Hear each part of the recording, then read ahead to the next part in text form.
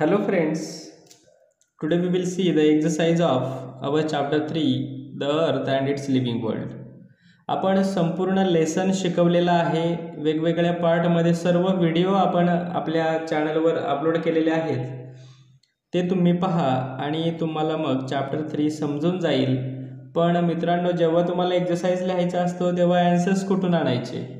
म्हणून मी तुम्हाला आज ॲन्सर्ससुद्धा सांगणार आहे एक्झरसाईजमधले तर पहा the first question is what is the solution उपाय काय? Dark patches appear on the skin after exposure to the sun म्हणजे आपल्या त्वचेवर काळे डाग पडलेले आहेत उष्माघातामुळे किंवा अतिउष्णतेमुळे किंवा उन्हात बाहेर गेल्यामुळे काळे डाग पडलेले आहेत आपल्या त्वचेवर तर याचं सोल्युशन काय? याच्यावर उपाय काय? One should use sun coat which covers the maximum part of the body and also the sunscreen lotions are available in the market which can be used म्हणजे जेव्हा असे काळे डाग पडलेले असतात तर ते काळे डाग घालवण्यासाठी काय करायचं? आपल्या स्किन जास्तीत जास्त झाकली जाईल याचा याची दक्षता घ्यायची आहे. आणि सन कोट यूज करायचा आहे. म्हणजे आपला जो मॅक्झिमम पार्ट आहे तो झाकलेला जात जात असतो त्याच्यामध्ये बॉडीचा आणि बाजारामध्ये काही सनस्क्रीन लोशन्स येतात की त्याने हे काळे डाग जातात किंवा असे चट्टे ओठत नाहीत काळे डाग पडत नाहीत त्वचेवर तर ती वापरली तर हेच त्याच्यावर सोल्युशन आहे. आता क्वेश्चन नंबर टू आहे.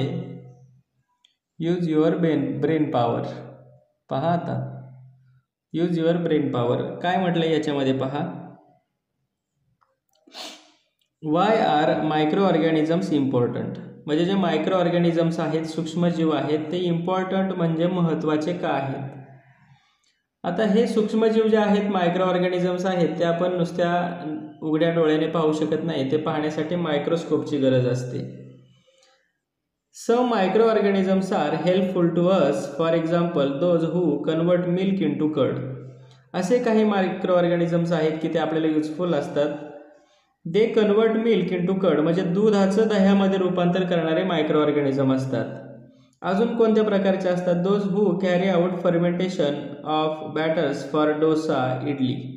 म्हणजे इडली डोसा आपण जे घरी करतो त्याचं फर्मेंटेशन म्हणजे ते आंबवलं जातं त्याच्यासाठी सुद्धा हे मायक्रो ऑर्गॅनिझम्स युजफुल ठरत असतात. अजून त्याचे काही युजेस आहेत पहा. Some microorganisms decompose the the body parts of dead plants and animals and the the nutrients back to nature काही सूक्ष्मजीव असे असतात ते काय करतात? They decompose the body part of dead plants म्हणजे जे मृत वनस्पती आहेत मेलेल्या वनस्पती आहेत त्याचे जे पार्ट आहेत ते डिकम्पोज म्हणजे ते कुजवण्याचं किंवा त्याचं विघटन करण्याचं काम करतात. And animals and give the nutrients back to nature आणि त्याचे जे न्यूट्रियंट्स आहेत पोषक घटक आहेत ते निसर्गामध्ये परत देण्याचं काम करतात. Therefore micro organisms are important म्हणून हे सूक्ष्मजीव आपल्यासाठी खूप महत्त्वाचे आहेत. आता हा जो क्वेश्चन नंबर बी आहे तो थोडासा त्याचा ॲन्सर मोठा आहे. क्वेश्चन काय आहे पहा? Think about all the food stuffs obtained from the sea find more information and write 10 lines about them. Think about all the foodstuffs obtained from the sea. Sea म्हणजे समुद्रातून कोणकोणते खाद्यपदार्थ किंवा खाण्याचे घटक मिळतात त्याच्यावर विचार करा फाइंड मोर इन्फॉर्मेशन त्याच्या संबंधी अधिक माहिती मिळवा and write ten lines about them आणि हे जे सी फूड आहेत किंवा food stuffs from the sea जे आहेत समुद्रातून जे मिळणारे खाद्य घटक आहेत त्याच्याबद्दल आपल्याला टेन लाईन्स लिहायच्या आहेत आता या ठिकाणी मी सुद्धा काही माहिती कलेक्ट केलेली आहे. पहा काही इन्फॉर्मेशन कलेक्ट केलेली आहे. Sea food includes various types of fish and shell fish some people also eat edible sea plants म्हणजे जे सी फूडमध्ये काय कशा कशाचा समावेश होतो पहा? वेरियस टाईप्स ऑफ फिश म्हणजे वेगवेगळ्या प्रकारचे मासे आणि शेल फिश असतात त्याच्यामध्ये. Some people also eat edible sea plants edible sea plant म्हणजे समुद्रातल्या काही वनस्पती आहेत की ज्या खाण्यायोग्य असतात. त्याचा सुद्धा अन्न म्हणून उपयोग काही लोक करत असतात. Some types of sea weeds and algae are used as food stuffs by them आता some types of sea weeds म्हणजे समुद्री तण. समुद्रामधलं थोडक्यात वनस्पती आहेत त्या. अँड काही प्रकारचे जालगे आहेत शेवाल आहेत त्याचा सुद्धा फूड स्टफ म्हणजे अन्न म्हणून उपयोग केला जातो. अजून याचाच खूप मोठी इन्फॉर्मेशन आहे पहा. Sea food is consume to greater extent in the coastal areas it is an important source of proteins म्हणजे हे जे सी फूड आहे is consume to greater extent in the coastal areas coastal area पाहिला आपण समुद्र किनाऱ्यावरचा भाग किंवा किनारी भाग. त्या भागामध्ये जास्त सी फूड म्हणजे समुद्री अन्नाचा वापर केला जातो. It is an important source of proteins त्याच्यातून आपल्याला खूप सारे प्रोटीन्स म्हणजे प्रथिने मिळत असतात की ज्याची आपल्या शरीराला गरज असते. The other nutrients and minerals present in sea food are also good for health फक्त प्रोटीनच नाही द अदर न्यूट्रिएंट्स काही इतरसुद्धा पोषक घटक अँड मिनरल्स खनिज मिळतात आपल्या शरीरासाठी ते सुद्धा आपल्या they are good for health The waste part of the seafood are used for preparing manure. The waste part of seafood are used for preparing uh, manure.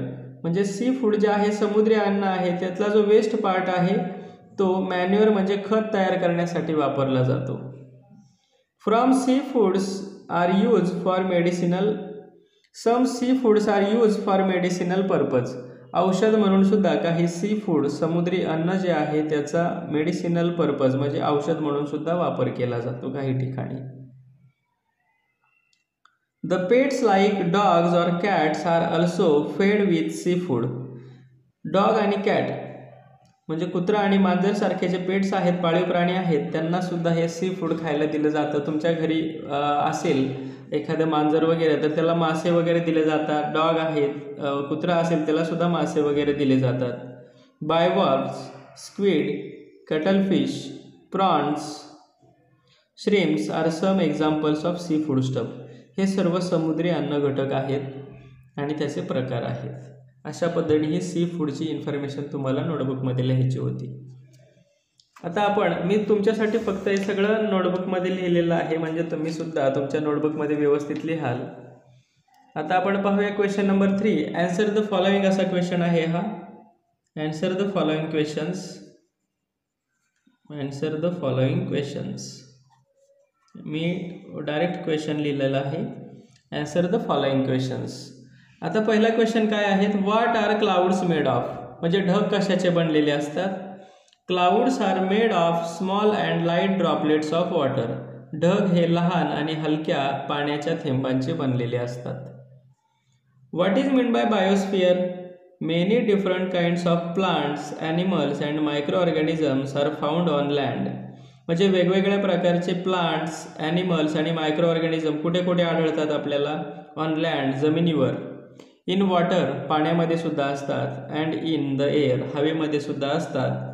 These living things constitutes biosphere हे सगळे सजीव जेथे जेथे असतात त्या सर्वांना मिळून biosphere म्हणजे जीवावरण असं म्हटलं जातं. आता क्वेश्चन नंबर फोर खूप सोपा आहे पहा.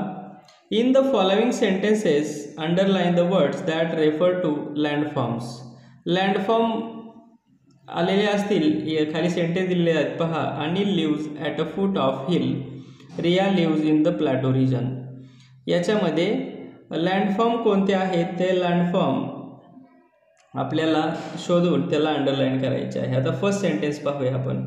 Anil lives at a foot of hill म्हणजे Anil lives at a foot of hill याच्यामध्ये लँडफॉर्म कोणता आहे? पहा भूरूपे कोणते आहेत? हिल म्हणजे टेकडी. हे लँडफॉर्म आहे म्हणून हिलला आपण अंडरलाईन केलेलं आहे. नेक्स्ट आहे Riya lives in the plateau region Riya lives in the plateau region या ठिकाणी प्लाटो हा लँडफॉर्म आहे म्हणून त्याला अंडरलाईन केलेला आहे. आता नेक्स्ट पाहूया काय आहे.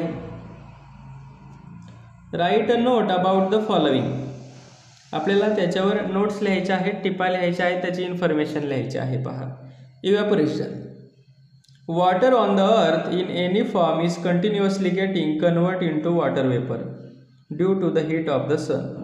म्हणजे पृथ्वीवर जे पाणी असतं ते कन्वर्ट होत असतं कशामध्ये? इंटू वॉटर वेपर पाण्याच्या वाफेत रूपांतर होत असतं. वाय का होतं त्याचं रूपांतर? Due to the heat of the sun म्हणजे सूर्याच्या उष्णतेमुळे त्या पाण्याचं पाण्याच्या वाफेत रूपांतर होत असतं. Conversion of liquid water into gaseous water vapour is called evaporation म्हणजे लिक्विड जे द्रवरूपातलं पाणी आहे त्याचं वायुरूपातमध्ये गॅसियस फॉर्ममध्ये रूपांतर होणे यालाच इव्हॅपोरेशन किंवा बाष्पीभवन असं म्हणतात. Due to the process of evaporation only our wet clothes get dried ह्या इव्हॅपोरेशनच्या प्रोसेसमुळेच आपली जी वेट क्लोथ आहेत म्हणजे काय? ओली कपडे आहेत दे गेट ड्राय म्हणजे ती वाळतात किंवा सुकतात. In the process of raining पाऊस पडण्याच्या प्रक्रियेमध्ये evaporation process plays an important role त्याचं खूप महत्त्व आहे इव्हॅपोरेशन या प्रोसेसचं जर इव्हॅपोरेशन झालं नाही तर पाऊसच पडणार नाही. Next question is condensation the process of water vapour turning into water on cooling is called condensation आता इव्हॅपोरेशनच्या अगदी उलट काय आहे? कंडेन्सेशन आहे. इव्हॅपोरेशनमध्ये काय पाहिलं? जे लिक्विड स्वरूपातलं पाणी असायचं द्रव रूपातलं त्याचं गॅसेस फॉर्ममध्ये रूपांतर व्हायचं. आता कंडेन्सेशनमध्ये काय आहे? जी वॉटर वेपर आहे ती थंड झाल्यानंतर इट टर्न्स इनटू वॉटर त्याचं वॉटरमध्ये रूपांतर होते. When water vapour high up in the atmosphere gets condense small droplets are form and thus clouds are form. जेव्हा ही वॉटर वेपर उंच वातावरणात जाते गेट्स कंडेन्स म्हणजे त्याचं त्या वाफेचं छोट्या छोट्या पाण्याच्या थेंबात रूपांतर होतं. Condense small droplets are form. छोटे छोटे पाण्याचे थेंब तयार होतात and thus clouds are form. आणि अशा पद्धतीने क्लाउड्स म्हणजे ढग तयार होत असतात. For raining this process is important पाऊस पडण्याच्या काळामध्ये किंवा पाऊस पडण्यासाठी कंडेन्सेशन होणं खूप गरजेचं असतं. Forming of dew drops is also an example of condensation दवबिंदू तयार होणे हे सुद्धा एक कंडेन्सेशन म्हणजे संघननाचं उदाहरण आहे. आता आपण पाहूया the water cycle the water cycle means मराठीमध्ये त्याला म्हणायचं जलचक्र. Water on the earth evaporates into water vapour and goes high in the atmosphere water on the earth evaporates म्हणजे जमिनीवरच्या पाण्याची वाफ होते आणि it converts into water vapour त्याचं वाफेत रूपांतर होतं पाण्याचं and goes high into the atmosphere आणि वातावरणामध्ये ही वाफ उंच उंच जाते. It condense into very small droplets which form the clouds it condense into very small droplets आणि त्याचं पुन्हा वाफेचं पुन्हा पाण्याच्या छोट्या थेंबात रूपांतर होतं. अँड विच फॉर्म क्लाउड्स आणि त्याचे ढग तयार होतात. As these small droplets combine together असे छोटे छोटे स्मॉल ड्रॉपलेट्स किंवा छोटे छोटे थेंब एकत्र आल्यानंतर to give bigger and heavier drop याच्यातून मग बिगर म्हणजे मोठा आणि जड असा ड्रॉप ऑफ वॉटर म्हणजे पाण्याचा थेंब तयार होतो. आणि they come down as rain आणि पाऊस म्हणून हे थेंब खाली येतात. These process of evaporation condensation and raining go on in a continuous cycle ही जी प्रोसेस आहे म्हणजे आधी इव्हॅपोरेशन त्याचं कंडेन्सेशन आणि मग रेनिंग ही कंटिन्युअसली सुरूच असते and this is known as water cycle in nature आहे आणि यालाच नेचर किंवा निसर्गामधलं वॉटर सायकल असं म्हणतात.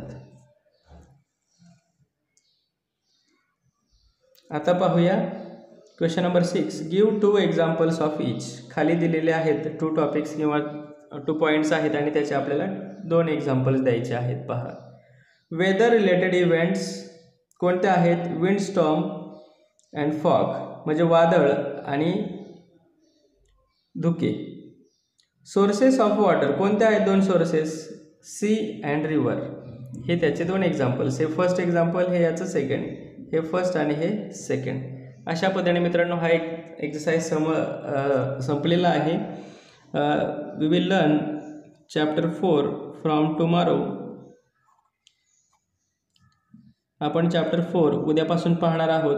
आपल्या व्हॉट्सअप ग्रुपला जॉईन होण्यासाठी मला nine three seven three nine three three two six six या नंबरवर तुम्ही व्हॉट्सअप करा. म्हणजे तुम्हाला असंच एक्झरसाईज नवनवीन व्हिडिओच्या लिंक्स तुम्हाला मिळत जातील. थँक्यू